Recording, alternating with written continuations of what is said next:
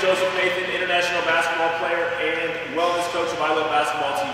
Okay, today I wanted to talk to you guys about how to eliminate jumpers knee. Now, a lot of people have jumpers knee because they're constantly not only sliding, they're constantly jumping, they're constantly running, things of that nature. You guys cause a lot of stress on your patellar tendon, especially you guys have a lot of tightness other places that you guys shouldn't have.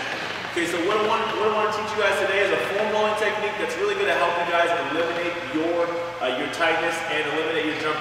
Okay, so what you guys want to do is you guys want to grab a foam roller if you guys don't already have one. You guys want to lay down. Now, you want to roll out your entire tibial band, which is the right side right here. Oh, there's a little band right here that basically connects you, that's in between your, your hamstring and your quad. Okay, you guys want to lay down. Really point your toe up and roll. Just go ahead and roll this whole tibial band out. All right?